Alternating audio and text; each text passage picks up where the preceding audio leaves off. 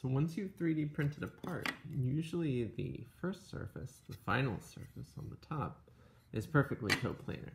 And that's all good and fine, but depending on how your printer's set up, you may have some gap. Let's get that lined up here.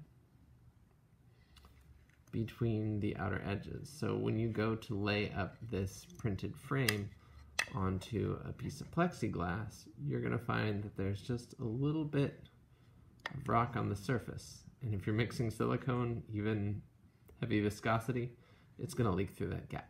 So, to flatten it out, all you need is a flat surface, usually a plate of glass or slab of rock, a piece of sandpaper, your printed part, and a fair amount of patience. So all you have to do is hold your material flush and go and it.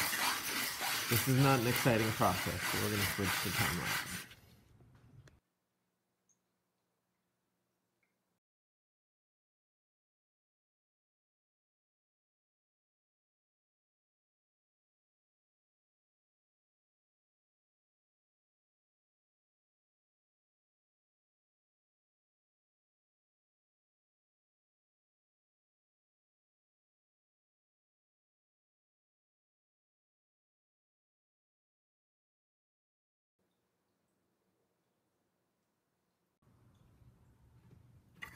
So here we are, everything sanded flat.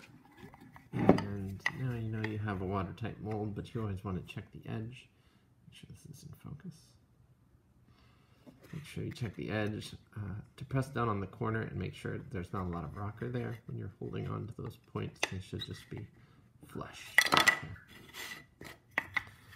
So check side A, and then don't forget to check side B.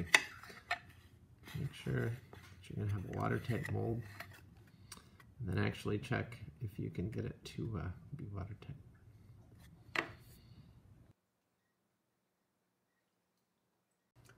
All right, let's see if it's watertight.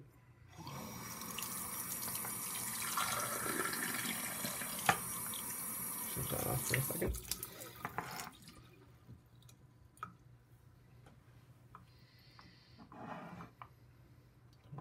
A little bit of water coming out the sides.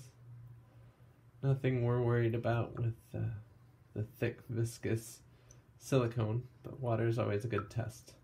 One thing you got to be aware of with the silicone, as with the water, is if your mold's sliding around because your rubber bands aren't too tight, uh, your gasket's going to be okay until that happens. Okay, so just make sure that when you set down your your mold frame, that it's either flush to the table or set stably so that it can't just scooch on down. There you go.